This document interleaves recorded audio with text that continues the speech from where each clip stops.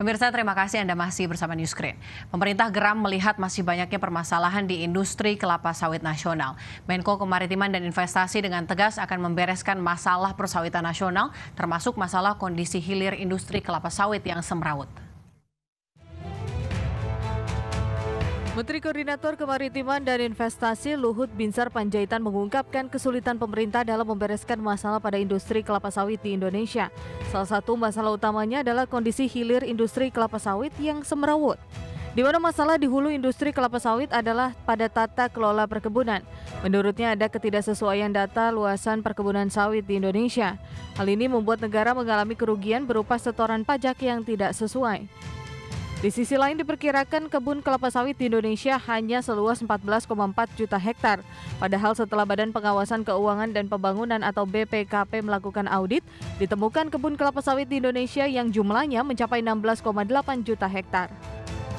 Fakta mencengangkan ini baru terbuka setelah BPKP melakukan audit tata kelola perkebunan sawit. Ditemukan ada 3,3 juta hektar lahan perkebunan sawit yang didirikan atas kawasan hutan. Menurut Menko Luhut, sebanyak 3,3 juta hektar perkebunan di kawasan hutan tersebut diindikasikan memiliki pelanggaran yang dilakukan oleh beberapa golongan pejabat negara. Sini dari hulu ke hilir, ya dari hulu ke hilir. Nah hulunya ini kan yang yang sembraut akibat hulu yang sembraut ini ya kehilirnya sembraut. Tapi di hulu ini itu menyangkut pajak. Kita tidak tahu persis jumlah kita berapa, tapi setelah diaudit oleh Pak BPKP, kita paham jumlahnya itu kira-kira 16,4 juta hektar. 16,8. 16,8 juta hektar.